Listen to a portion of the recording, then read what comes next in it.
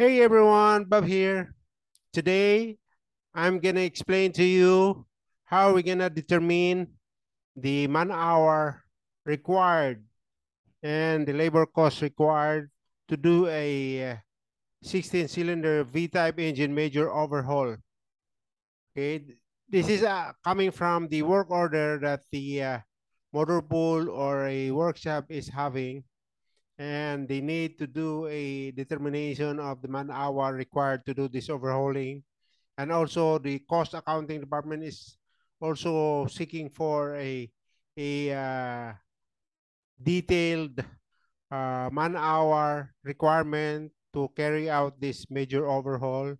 And also, of course, the labor cost. And actually, this is the services that the that this company is providing to customers who own some uh, heavy equipment, some engines, uh, doing overhauling, doing, doing uh, engine rebuilding, and doing uh, re rehabilitation of some uh, heavy equipment. This is the kind of thing that they're doing as far as their services is concerned. So the the thing that the cost accounting is only looking for is to have the the required man hours so that be able to do the the costing.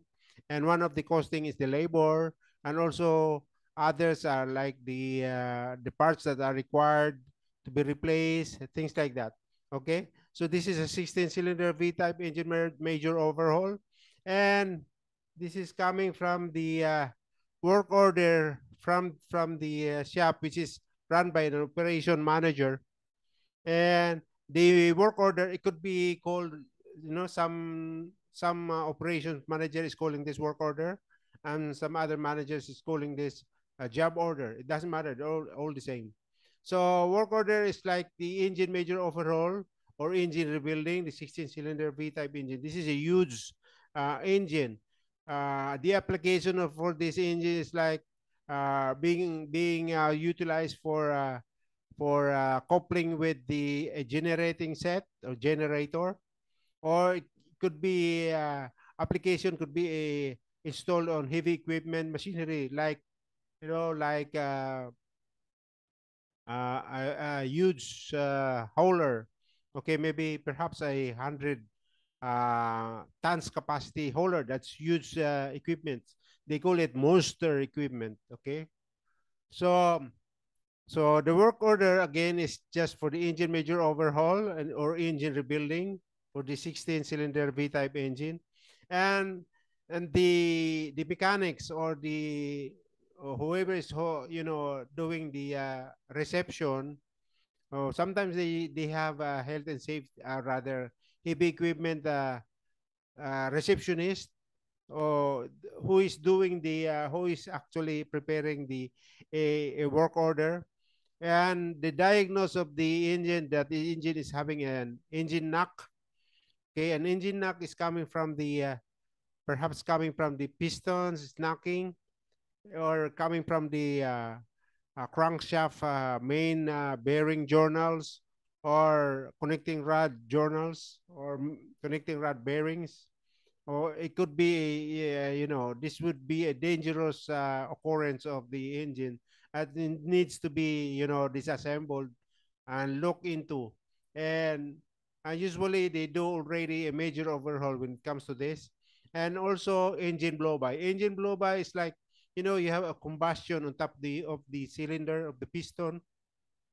And all the pressure is just you know instead of having a good compression uh you know compression uh, uh cycle of the the of the of the engine uh, for combustion, the the the pressure that is being uh, you know compressed is leaking through the piston rings around the pistons. So they call it engine blow by. So the problem of this is that the the, the piston rings are already damaged and it, and it doesn't hold or seal the the the the combustion uh, process. Okay? And also sometimes uh, this pumping oil is happen, you know, the the the oil in the lubrication pan or in the uh, crankcase of the engine block supposed to stay there and only the the uh, oil pump is is pumping the oil for the lubrication purpose no lubrication system but the the oil is is coming up through the again through the piston ring and it it, it mixes with the combustion uh, process. And then perhaps the engine is overheated okay? When the engine is overheated usually the the the uh, the uh, cylinder head is damaged and it cracked okay? The engine is cracked or you know the the the piston is burned you know or the the uh, valves is also burned so they need to they also need to be overhauled okay? So these are the this is the diagnose that most likely happened to the engine. That's why the engine really needs a major overhaul. Okay and or perhaps the engine already loses uh, power okay?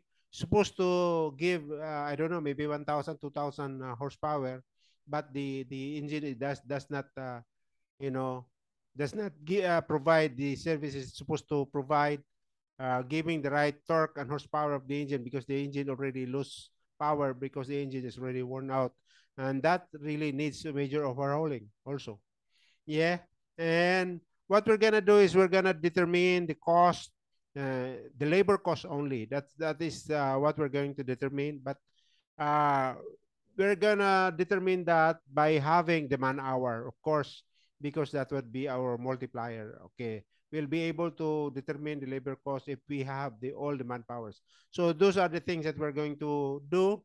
That's why I put here the details of the work order these are the things that we're going to be doing in uh, which is uh, all inclusion of the uh, major overhaul sometimes uh, some people are calling it general overhaul. Sometimes some people are calling it major overhaul.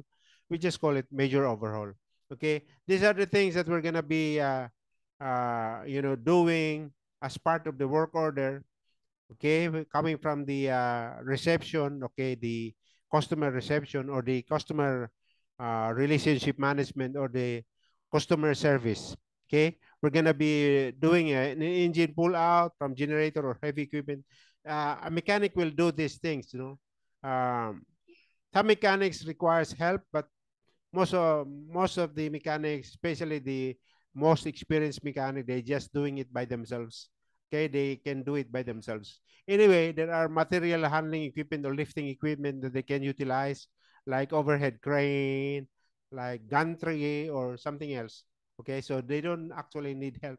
So some, uh, even as huge as this engine, some mechanics prepare to work alone, you know, working on, because they don't want to take chances by having a shop hand or a helper, mechanic helper, and do something, uh, you know, terribly wrong on some parts. So they just want to work alone and make sure that everything is done uh, according to you know to the standard so that's why most uh, senior mechanics or uh, you know most experienced mechanics they want to be working alone.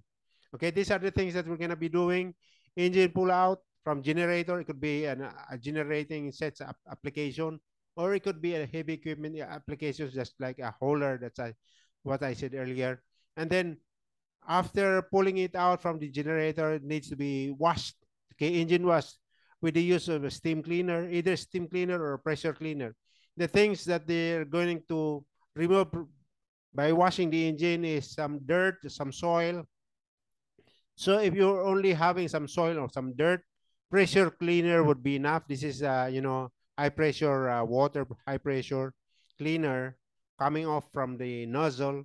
So you use that for cleaning the and removing the soil or the dirt or the earth okay if there are some oil spillages okay some oil leakages then what you do is you use a steam cleaner steam cleaner is hot steam coming off from the nozzle or from the hose and that would be good in remo removal of some oils uh, spillages all around the the engine okay and then dismantle engine all the parts will be dismantled for inspection for washing inspection Then we're gonna be doing sandblasting of all dismantled parts.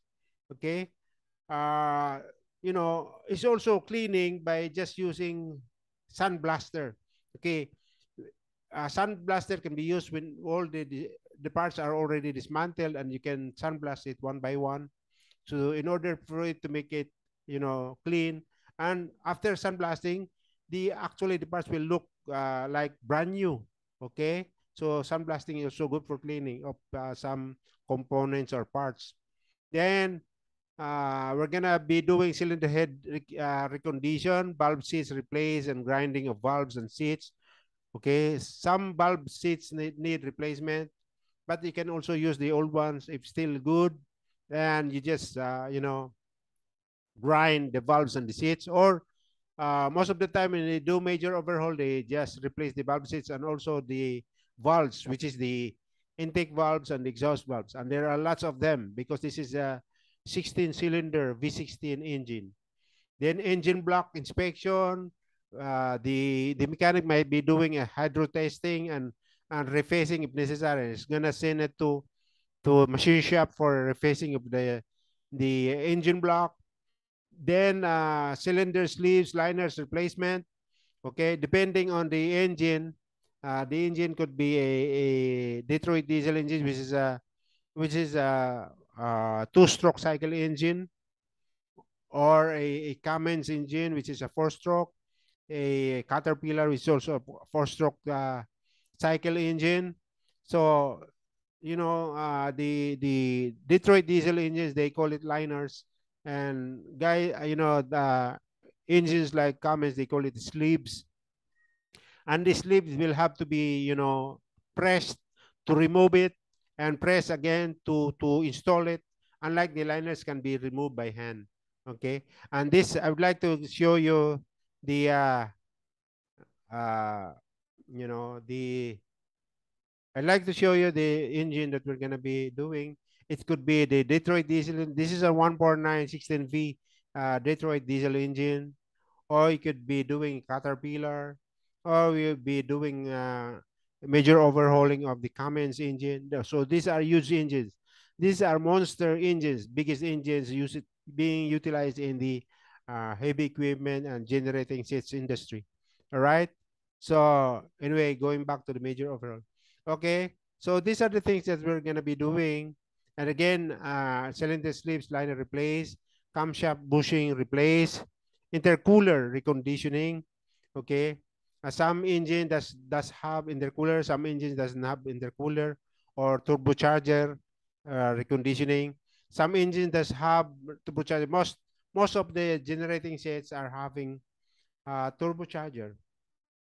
Okay, but other uh, equipment like uh, some heavy equipment, uh, sometimes they use they use engine which is only a naturally aspirated engine, or they some engines are using intercooled turbocharged type of engine. Anyway, it doesn't matter because we're going to do a, a individual man-hour determination of this uh, activity.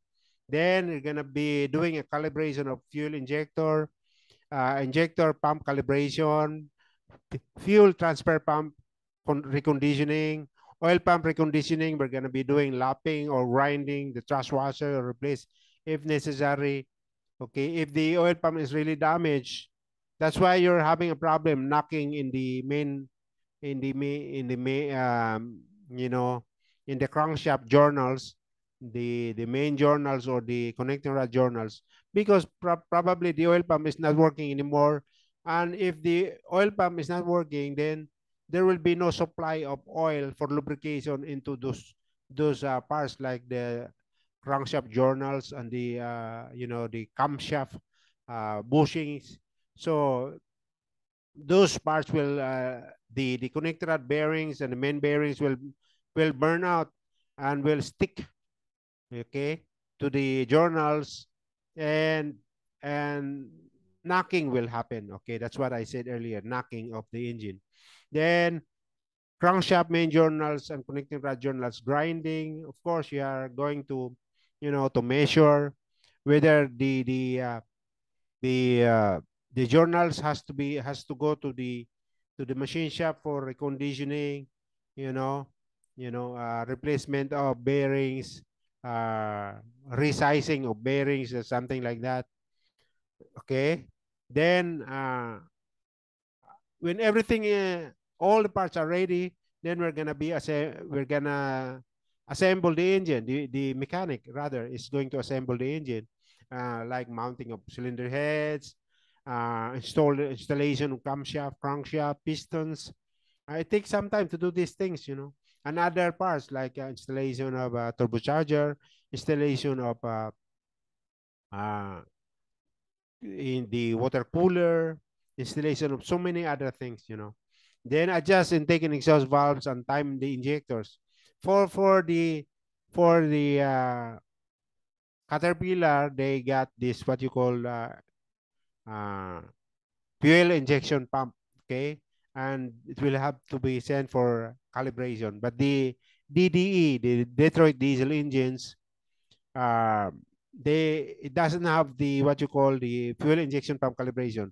They only have the uh, uh, the fuel pump, and then it goes directly to the fuel injector. That's why when you're doing adjustment of the intake and exhaust valve, and and also you have to do the time timing of the the injectors. Okay, there is a special tools that you're gonna use because the injectors of the uh, the Detroit diesel is it's also pumping. You know, there's a there's a what you call spring. It is spring loaded, and there's a cam follower which is pressing the the injectors for injecting the the uh, for injecting the what you call the fuel for for combustion. So what you need to do is you have to time the injectors. This is for Detroit diesel engines. And uh, mo most of the engines now are having the what you call tappet, uh, hydraulic tappet. So the tappet is like the cam follower, yeah, right?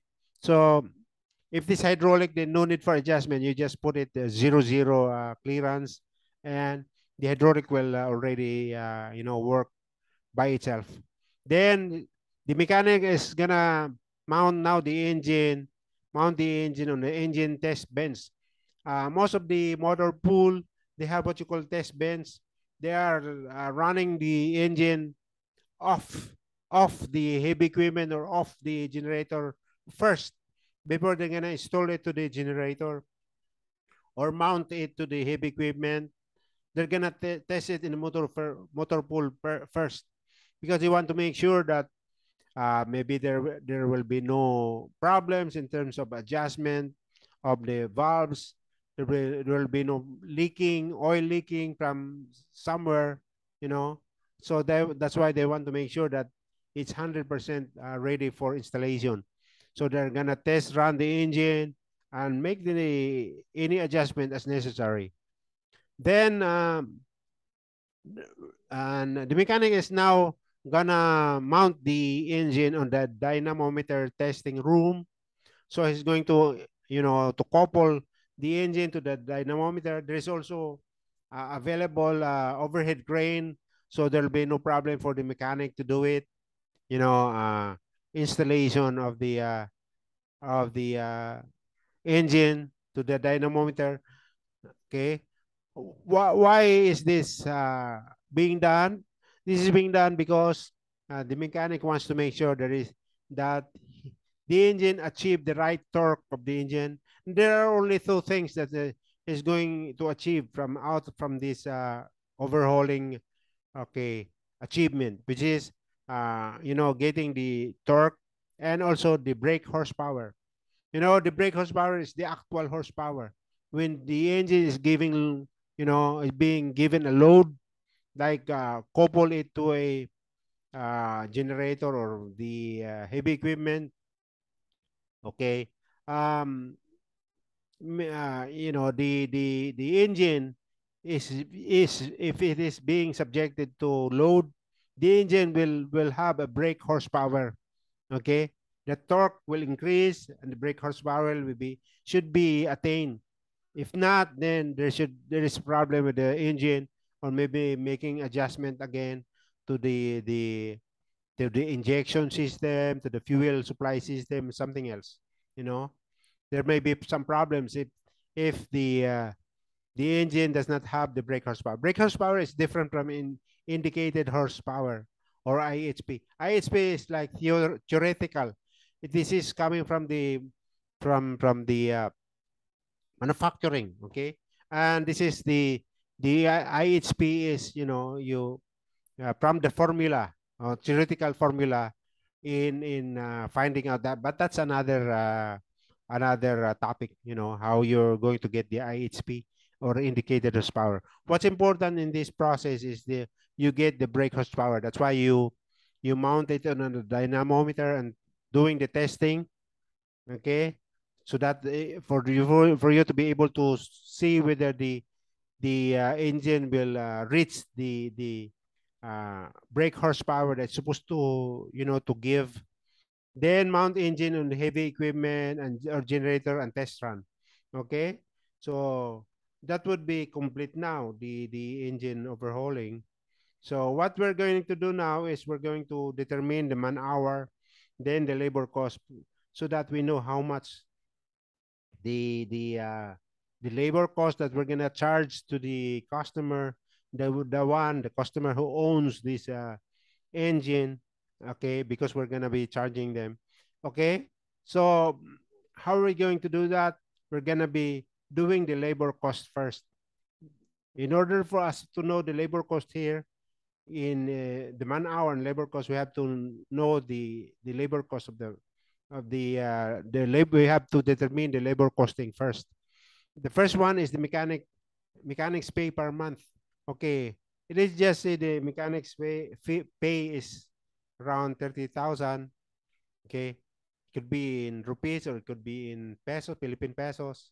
Okay, so you know some regular mechanics like automotive mechanics, they're just receiving around 18,000 or maybe 20,000, you know, per month uh, um, uh, salary.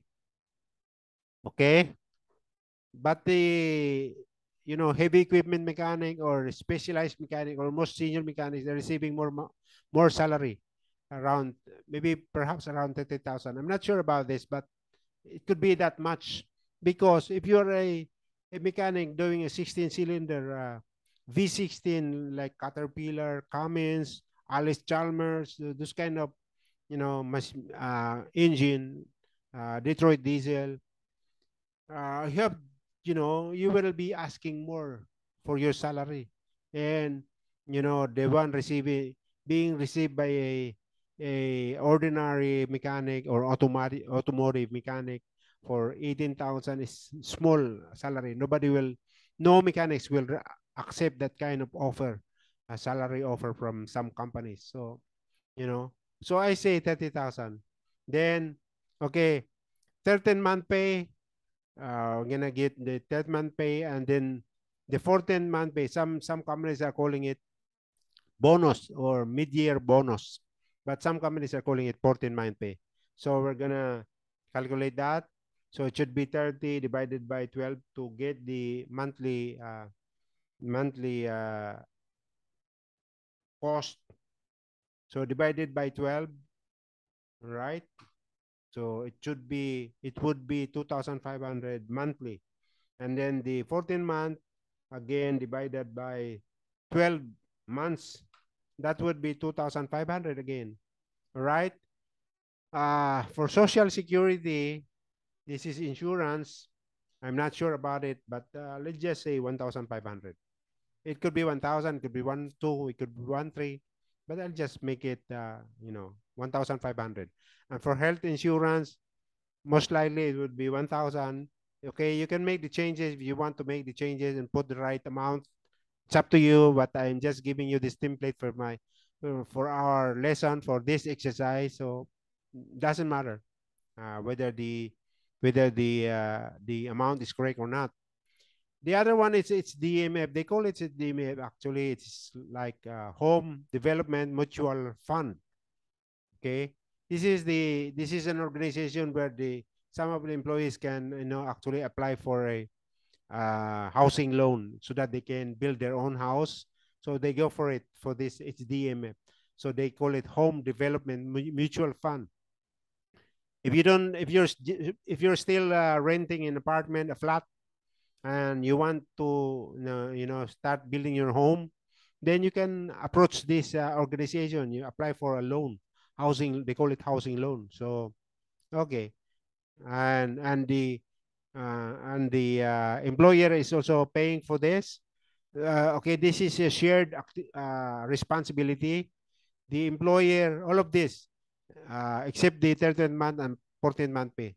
The social security is the employee has his own share of paying. I don't know how much. And the health insurance also own share and the HDMF also his own share. But this is, all of these are all coming from the employer, okay? We want to find this out because we, we want to know how much we're gonna charge the customer for the major overhauling uh, cost, right? In terms of the labor cost. So what, how much would be the monthly? The monthly would be the total of the, all of this. So we find the sum of this, sum, oh, okay. So that would be the monthly uh, cost for the, you know, for the employer or the company, 37,700. So what we're going to do is we're going to make it hourly so that we know how much we're going to charge the customer. So we're going just to divide it by 208 hours in in in one month. Okay, one month, 26 days, uh, multiplied by uh, you know eight hours because eight hours working hours for one eh, for daily working hours. So that would be 181. Okay, uh, this is the cost. You know, per uh, that is hourly cost of course, we're going to add, you know, add plus or add, add, um, I think the right word is add, right? So I'm gonna change it to add. Add markup, okay, markup. So I'm gonna think that the markup should be around 30%, right? So 30% because uh, there are also other expenses like miscellaneous or maybe a little bit of overhead cost, you know. But we're only talking about the talking about the labor cost here. No? So now we're gonna find out how much would be our hourly rate. So our hourly rate should be uh, hourly rate should be around how much? We're gonna multiply this because we we're adding markup or margins, you know, gross gross margins. Okay, multiply by 30%, that would be 236. Okay, 236. Okay, now we're going to the major overhaul uh, uh, sheet. So we're gonna put it here. Uh, hourly rate should be coming from this, uh, this one, 236. So it would be 236. Okay, now we're gonna find out the man hour, what would be the man hour for each, each of this activity so that we know how much would be our labor cost. We already have the hourly rate. Now the thing that we're gonna find find out is the uh, man hour. Okay, okay. This is coming from my experience. Okay, determining the man hour, but you know, uh, man hours could be different depending on the person. Person. This is the uh, the, the based on person to person a person could be a fast, you know, worker. A person could be a slow worker, you know. But, you know, I'm just trying to get the average of this man hour. And this is coming from my experience in the past employment where I was handling the uh, I was handling the heavy equipment, including, you know, you know, uh, those huge equipment like uh, like Caterpillar equipment, like bulldozer, haulers, uh, payloader, wheel loaders, you know, things like that, scraper, you know, uh, vibrator rulers, those things. I was I was involved in those equipment for like and also these generating sets, 1,500 uh, kVA generating sets, you know, uh, one 2,000 uh, kVA, 4,000 kVA, you know, huge, you know, uh, generating sets for the standby power supply of a company. I was handling that before. So let's just say that the engine pull out. Okay, remember this is a huge equipment. This is not like uh, uh, a four cylinder, six cylinder, or even a V8. This is a V16. This is a huge, uh, you know, just like what I, I, I show you before. See the Cummins, Cummins or engine. Okay. See the Caterpillar. Oh, those are huge engines, right? Uh, how many cylinder head? Individual cylinder head. One, two, three, four, five, six, seven, eight. Eight here, uh, right bank, uh, eight cylinder head in the, you know, in the left banks. You know, Detroit diesel engines also. These are huge uh, engines. So, you know, so it's not uh, a joke. You need some time to, you know, to do this thing. So, you know, engine pull out, I would say that would be 16 hours. Okay. Okay, let's make it fast. Okay, engine washing, you need two hours for this. Dismantling of engine is, you need eight hours for this. And then the sandblasting, you know, uh, some companies are buying this sandblaster. You know, it's like a, a big uh, box where you have the, the motors and you have the sandblaster, the, the grid, you know, we'll, sun grit, grit rather, sun grit. Uh, this is also good for cleaning. You will see when you sandblast the, the parts, the components, becomes, uh, it, it will become, looks like a, a brand new uh, parts because it's very clean, really clean. So if you don't have this, then I would suggest that you get you buy this. I don't think this is much up. Uh, I don't think this will be that expensive. So try to uh, acquire this one, sandblaster. So for the sandblasting, all, all the parts will be sandblasted, especially those with carbon, carbonized already, like like the piston, full full of carbons already. Uh, the the the cylinder head, there are lots of carbon deposits. Uh, the valves, especially the exhaust valves, there are lots of uh, carbon deposits. So you need to do the blast, sandblasting of all these parts. So I would say I would need uh, six hours to do this thing. Cylinder head rec reconditioning, like valve seats replacement, grinding of valves or seats.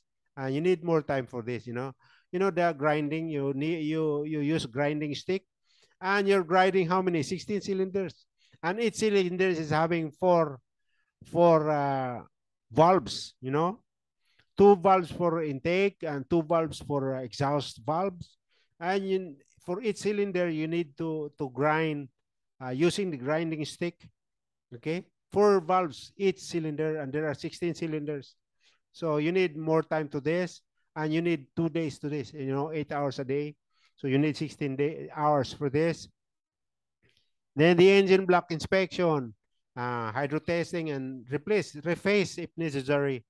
So you need four, four hours for this, including the testing, including the inspection, you know, cylinder, cylinders, sleeves, and liners replace, uh, especially with this a, a sleeves, uh, you know, you need to know to uh, send the uh, cylinder block to the uh, uh, maybe horizontal or maybe a, a what you call hydraulic press to press it. Uh, you need time for this. Okay, so I would say cylinder sleeves would be, I would say four hours also, four hours, and then camshaft bushing replace. You're going to replace the camshaft. The camshaft is also has to be uh, uh, pressed, you know, and there are so many bushing in the camshaft. So let's say four hours also. Okay. Uh, I would say, I think this would be eight hours. Okay, it will take more time to do this. Then intercooler recondition, you know, the intercooler, you need eight hours for this reconditioning. You have to open it and you have to clean it and you have to check the parts. You have to lap whatever parts that it is, like the thrust washers or or uh, shimming, the shimming, you have to lap it or grind it. You need time for this also. So the intercooler is also around, uh, yeah, eight hours. And then for the turbocharger reconditioning, there are two turbocharger, one on the left side and one on the right side. you know, or sometimes I think there are how many? Sometimes there are four uh, turbochargers, and uh, usually two turbochargers, and they're being, uh, you know, you know the turbocharger. There is one you call cold wheel, and there is or compressed wheel, compressor wheel, and there is what they call turbine wheel or the hot wheel. Okay, so you know the the turbocharger is be driven by the exhaust because the the the exhaust is coming from the exhaust manifold you know okay so by the way i almost forgot i'd like to remind everyone that this this uh, video is uh, intended for you know some engineers perhaps some mechanics or the guys you know in the customer service for motor pool uh, the one uh, doing the uh, costing okay uh, in relation with the uh, you know the costing with the cost accounting you know. So those personnel will need to have this uh, video in order for them to learn and you know learn more or maybe a refresher i don't know. So turbocharger calibration uh, rather turbocharger reconditioning and that would be eight hours also okay so fuel injection calibration so fuel, rather fuel injector calibration, you need to calibrate, especially the DDE, the Detroit diesel engines. You need to calibrate the turbocharger, uh, the fuel injector. That would be, uh, I think, also four hours. And then fuel injection pump calibration, fuel injection pump for for Caterpillar. You know, remember 16 cylinder. This is a huge uh, injection pump. So, uh, you know, uh, Caterpillar. Okay, the dismantling of these parts are already included in the engine dismantling of engine dismantling. And this uh, probably this uh, transfer pump will be just, or rather the the uh, injection pump will be done by the calibrator calibration room. You know, the the technician who is doing the calibration, then I would give this a injection pump. I would give this around maybe uh, around four hours, four hours also. And then for the fuel transfer pump, okay, before the fuel reaches the injection pump, there will be fuel transfer pump from the tank, okay, supplying the injection pump. So this is a fuel transfer pump. And mostly are uh, gear type of injection pump, or rather uh, fuel transfer pump. I would say two hours only for this one. Oil pump reconditioning, this is the lubrication, you know, system oil pump lapping or grinding the thrust washer or replace if necessary. Replace the thrust washer. You don't replace the oil pump. The oil pump don't get damaged. Maybe the the uh, thrust thrust washer or maybe the gear themselves because there is a drive gear and there is a driven gear for gear type uh, oil pump. So you just replace if necessary. Okay, so that would be uh, oil pump uh, reconditioning. That would be I think that would be four hours. Okay. Then for the crankshaft journals and connecting rod journals, you need to grind also, grinding, you know, by using a sandpaper, uh, some kind of sandpaper, a, a, a, special sandpaper for used by grinding. This is not, not a normal, uh, you know, standard uh, sandpaper that they use. They put a rope around it, they wrap a rope around it, and then they grind it using the rope. Okay, I don't know how you, Okay, but I think you more or less you know already how, how it's being done. If you are working in a motor pool, so more or less you know already how to be done, how this is being done. So that would be around eight hours. It take takes some time. This is a no, this is a big uh, uh, crankshaft, right?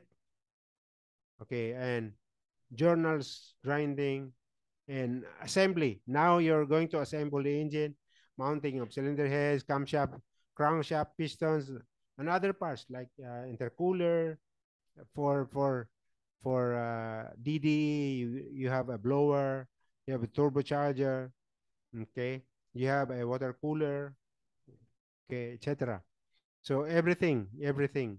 We're going to assemble now the engine.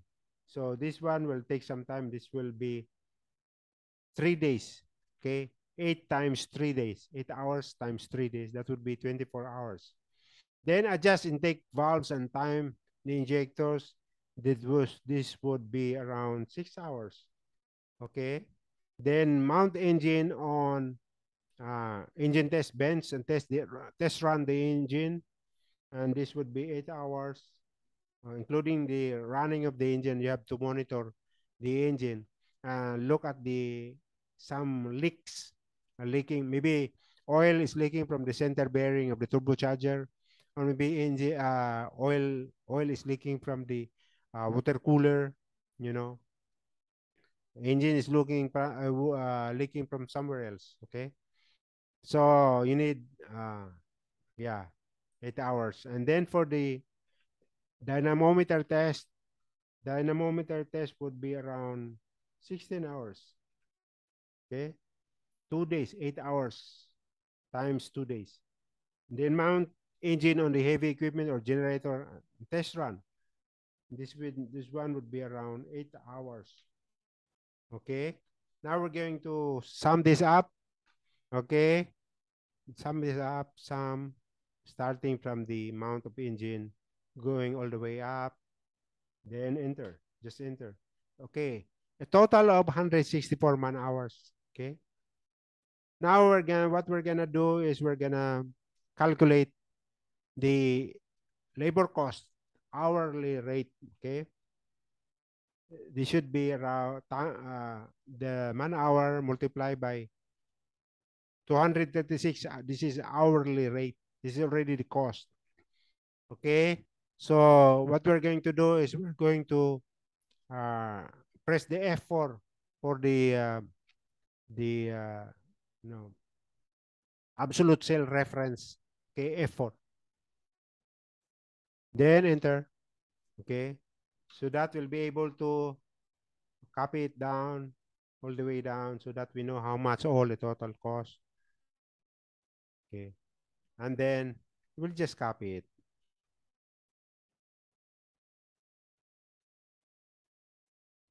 Okay. So therefore, the total cost to overhaul, to do a major overhauling of, of a 16 cylinder, uh, 16 cylinder V16 uh, engine would be around 38,640. This is only for the labor cost. Okay. This is only for the labor cost. Does not, does not include the, the spare parts and other, and other materials. Okay. So, right. So if you have a customer is seeking for a major overhauling of a 16 cylinder V-type engine, major overhaul, then you already know how much uh, how much the cost would be to overhaul.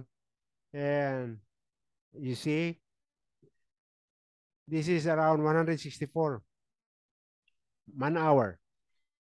We're going to divide that by uh, divide that by 208 hours. Okay. It's around three weeks. Okay. It's around three weeks to do it. So 164. Uh, with the cost of 38,643. Doing all these things. Okay, major overhaul or general overhaul. Uh, you're going to fulfill the work order, which is the engine major overhaul or engine rebuilding of a 16-cylinder V-type engine. Okay, that's it for now. I hope you like this video, and if you do, please subscribe. And don't forget to hit the notification bell so that you'll be notified of all the uh, videos uploads of my new video uploads okay in, in the coming days uh, i'm planning to upload every other day. I hope i'll be able to do that.